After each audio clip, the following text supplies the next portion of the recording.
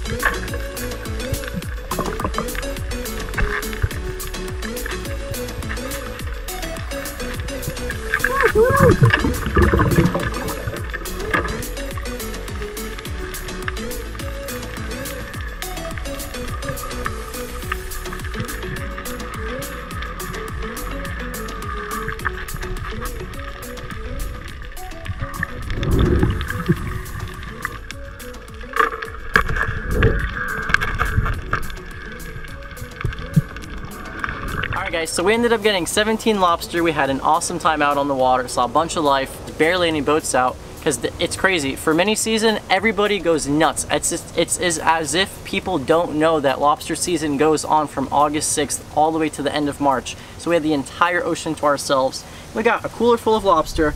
Stick around, I'm gonna clean one up for you guys and we're gonna do an awesome catch and cook. So this is how you clean a Florida spiny lobster. The first thing you're gonna wanna do is ring them. I'm gonna just take my hand, spin in opposite directions. You got one on the tail, one on the head, and that's what you get. That's what you get. Most people only eat this. This is the uh, the tail meat, but you can eat meat out of here. And what you do is they sell little cleaning sticks to get the vein and the poop out of the lobster, but you can just take the antenna out of the lobster, and there's a little hole right here on the lobster tail. And you gotta make sure you clean your lobster, because otherwise you're gonna be cooking them and you're gonna be eating poop. So you wanna stick it in its little hole right here. That is his butthole. You stick it in there, and these lobster, their antenna have backwards facing spines, and now you just simply pull it out. And what's gonna come out Actually, sometimes what will happen is you'll push it out the other end. So here is his, I guess you could say his intestinal tract right there. And it's full of sand and little stuff. Throw that guy away. Now you got a beautiful tail for dinner. What up guys, Chef Vic here, back with another Catch and Cook, and today I'm very excited, and you guys should be too, because it is finally lobster season down here in South Florida. So what that means for us Floridians is we get to enjoy one of the best seafood dishes out there, which is Florida spiny lobster. That is what I'm preparing for you guys today. So look forward to a lot of lobster dishes coming here in the future, all the way up till March we have our season open. So let's get started on that dish. To begin our lobster scampi, I got my fancy olive oil bottle, which I'm still so proud of and I got a big pan right here. Gonna oil it up. And I'm using a lot of oil and butter in the beginning because this is gonna be a sauce for a lot of people. I'm using six whole spiny lobster and this is gonna be a dish that I use for today and the next day. So we have an entire stick of butter, which is eight tablespoons, my olive oil, let that guy go, got it on medium heat. We're gonna come over here. First thing for our lobster scampi, I got two beautiful little shallots right here. Gonna cut these guys up. And the other thing that's gonna be going in here is garlic. Those are my first two flavors going into this dish. Now the reason I'm doing the shallots first and not the garlic is because the garlic will burn and I want to cook my shallots, um, get them brown, a little bit of caramelization in before I put the garlic in. Oh, and by the way, if you guys are wondering who's filming this today, Brooke, say what's up. Hi guys. Turn around so they know who's there. Okay, next thing we got going on is garlic. The shallots are decently browned in there and have begun to shrunk. I'm gonna go straight with my garlic, brush it up into here. I believe the correct word was shrink. Shrink. What did I say? Shrunk. Whoops. And I'm doing a hefty amount of wine in this dish. Because it's gonna just reduce by half. It's not gonna be too winey of a flavor because all of that wine is gonna cook out. You're supposed to say the drop to sip. Yum. So we're gonna let this guy come to a boil, and when it comes to a boil, just kind of watch it and wait until this volume reduces by half. And this is my designated cheese shredder for life, right here. We got some Parmesan, Good stuff. Always better to buy the block cheese, I think, than shredded cheese already. And you can put this back in the fridge and it just stays good for a long time. Oops. Great form, Brooke. Oh, professional. You must be Italian or something. When I was cleaning the lobster, Brooke and I were kind of pressed for time, so I kind of want to go more in detail about the cleaning process once you have your tail. So this is the spiny lobster tail, and this is the part that most people eat. Now you can eat a lot of the head meat and the the uh, the legs, but the majority of people just stick with the tail. So this was frozen. It's thawed now. What I'm gonna do is you want a thick, you definitely want a thicker knife for sure when you're dealing with these lobster tails. So what you're gonna wanna do is find the middle of the lobster and just go right down the center on, both the front and back end and then what you're gonna see is, is that you can actually take your hands on both sides of the lobster and I'm gonna be pushing out with my thumbs and then up with my fingers and it'll just kind of crack right down the middle. You can hear it. Just like so. And here's a really neat trick that I wanna show you guys that Brooke's dad taught me. Now, he noticed, because he's caught a lot more lobster than I have in my lifetime. And lobster have this membrane right here that attaches from their meat to their shell. Now, depending on what stage they're molting, so what lobster do is, like other crabs, they don't grow with their shell. They actually shed their shell and grow a new shell every few weeks, every few months. And depending on what stage they're in, this will be very, very tough. Now this guy is actually rather soft, but I'm gonna show you what you would do to get rid of this membrane, because you can actually kind of like fillet it out. So I got a knife right here. And by the way, just a quick little note, I'm not affiliated with this company whatsoever, but if you guys are looking for a really good affordable fillet knife, Dexter right here, I love them. You guys see me use those Bubba Blades in the videos. Save yourself the money, this is half the price, maintains its edge, love these knives. So see the difference between these two? I just cracked open another lobster and you can kind of tell how this one's a little bit more translucent pink and this has got a little bit of a darker coloration to it. This membrane right here is already kind of thicker and it's already turning into something that's unappetizing for someone who really doesn't like seafood to eat. Here's a little trick. You guys saw me go down the middle on this belly side. Now to kind of crack it, I'm gonna take my hands and press down and you can hear that it, it cracks. That way I don't beat myself up and now I can just crack it open right down the middle. So I opened up all six shells and I was trying to find that membrane for you guys, but I couldn't find it. So I'm gonna show you how to how you would go about doing it. I'm gonna go right down here down the middle. This is the membrane and this is the two lobes, I guess you could say, of the tail. And I would just fillet it and skin it just like I would any other fish. Just kind of just slide it right there and it'll slide right off of the membrane. So now all you're left with is the actual lobster meat and that membrane is stuck right there. Always check to see if you have that tough membrane because it might turn some noses away from your dinner table. Now lobster meat is very easy to work with. It's very soft, kind of like shrimp, but the difference is when you're cooking shrimp and lobster, lobster will be a lot more firm when you go to eat it as opposed to. So with that being said, you want nice bite-sized pieces, especially something like pasta. You don't want a giant, chunky uh, piece of lobster in your dish. Gonna go with linguine for our pasta of choice. Water's boiling.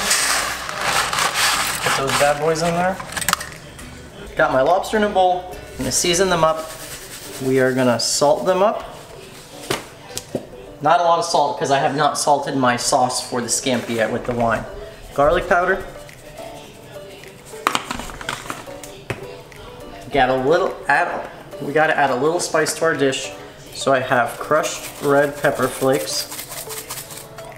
A little bit of more seafood goodness, Old Bay.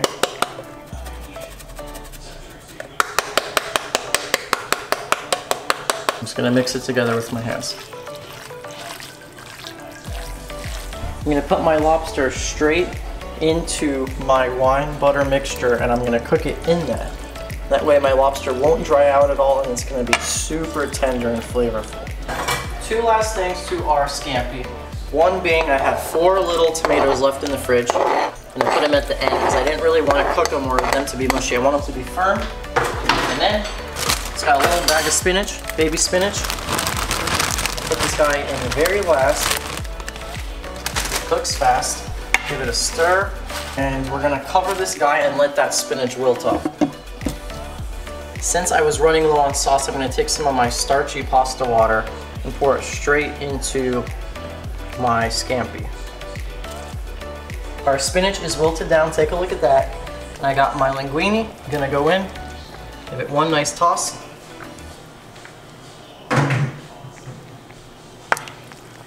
Mix it all together.